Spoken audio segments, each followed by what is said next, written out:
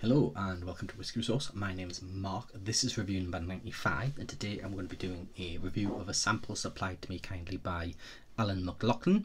Um, I want to put Alan's um, social details down in the description so be sure to check Alan out and give him a, a thumbs up for sending out the samples which is really nice of him. So today the sample uh, is the Tamnavulin red wine cask. I've already poured the dram, it's been sitting in my glass a little while. Um, just while I've been doing a little bit of uh, research and tidying up and stuff. So Tamnavulin, it is a uh, Speyside distillery uh, near Glenlivet. This particular expression, it's bottled at 40% ABV. As far as we can tell, it is chill filtered and it does have colour adjustment. It's been matured in um, American oak before a finishing period in Cabernet Sauvignon um, French red wine casks. So it gets its red wine cask name from. Um, as I say, a bit of research there, it appears that a lot of the online retailers are out of stock of this particular bottle, if they ever held it. Um, it was uh, pretty much um, found around all the major supermarkets.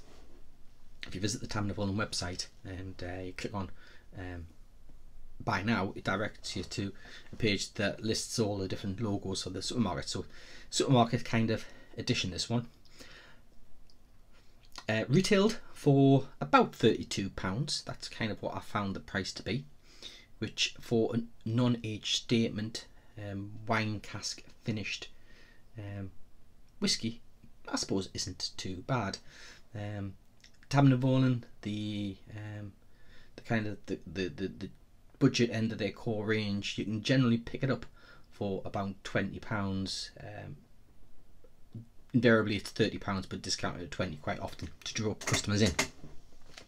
Uh, wine cask finish whiskies tend to be um, all the rage at the moment. Um, I believe um, Jura did a, uh, a red wine finish not so long ago. I think it was in a litre bottle as well, available from Sainsbury's. Not tried that one yet. Be uh, good to get my hands on it at some point. So Tamnavulin red wine cask, 40% ABV, retailing at about £32. It'll be interesting to see if you can pick up a bottle of this, of this now. Um, I say a quick quick search, it's, it's quite hard to come across uh, who has it. Um, I can imagine supermarkets probably still have it kicking around on the odd shelf if you're lucky enough to find it. It's the first Tamnavulin, I apologise if I'm saying it wrong, that I've actually tried. So we'll see what's like. This is uh, from Alan. Cheers on the nose. Well, the first thing that strikes me um, when I've been nosing this, how similar the nose is to the famous grouse um, port finish, which unfortunately I've finished that bottle now, so um, I won't be able to bring a review to you. But this has a very similar nose to that. It's a youthful nose, but it does have a lot of um, red fruit noses coming nose coming from it. It does say I'm a red wine, it, it does have that approach, but it also has a youthfulness to it. This is a single malt, it isn't a grain whiskey. It's quite fragrant, quite floral. I see I'm getting I'm getting red red fruits.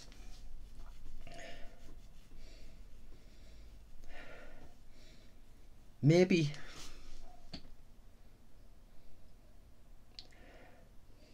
Maybe a touch of pear could be going on in there as well. Maybe a bit of spiced pear. And maybe just a subtle hint of um, ginger on the palate.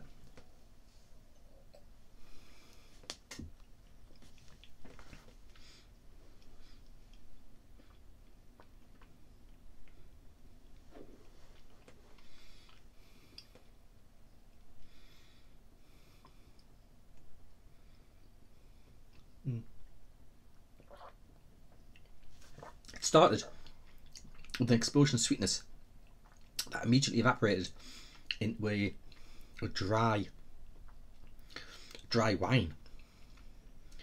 that dry matured into dry bitterness and spice evolved with that ginger and there's maltiness. So yeah, from the nose I was getting ginger, gingerbread maybe is developing on that finish towards uh, a, an oaky ginger cinnamon dry. Dry finish. It's actually tongue drying that finish. It is fruity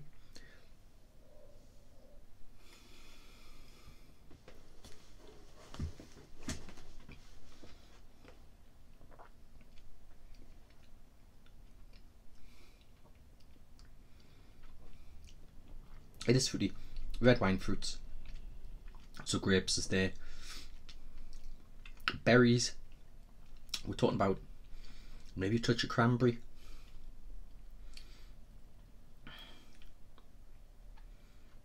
Blackberry maybe. It's not syrupy enough though, it's not oily enough. There are sensations of oil coating, but it's quite superficial. It's it, it's overall texture is watery.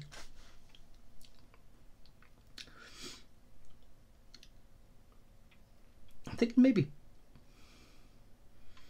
there's something else there. Um, dried prunes, maybe.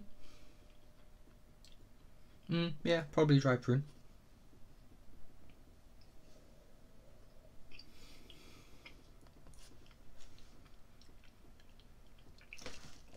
I can imagine let this sit for just a little bit longer. And I've had this sit in the glass for about 15 minutes before I started to to to taste it there. I want to put one drop in there just see what that does anything because I think this could probably evolve into into different expressions, different layers. I'm getting a bit of candied or honeyed, you know, crystalline um, bits of fruit on there with that ginger.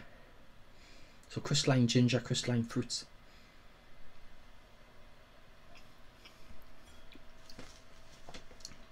It is on the palate very similar to the famous grouse um, finish, with the exception that it's missing those um, notes of grain that you get on the um, the famous grouse.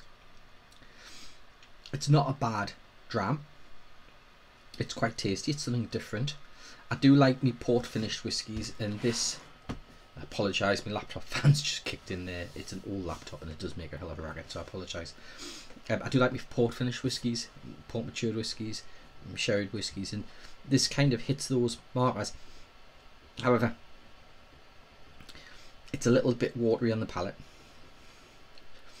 It could do with maybe a couple of percent, three percent uh, increase on ABV to just give it a bit more oomph, to make it a bit more of a textural feel in the mouth. I wouldn't say no if I if I saw a bottle of that. Um, if I walked into Sainsbury's, asked it tomorrow, and I saw it on the shelf at twenty pounds, I'd pick up a bottle. I'd, I'd like it um, for that. I wouldn't pay thirty two pound for it though. It's not bad, not a bad little dram, and I can see why um, Alan uh, bought a bottle because it's you can't really go wrong with wine finished whiskies. Um, it can certainly improve um, a, a, mediocre spirit. Not saying that this is because I've never had them Talon so I don't know what to expect, but it would certainly make me think more towards maybe picking one up the next time I see a bottle on discount in a shop. And that's it. It is.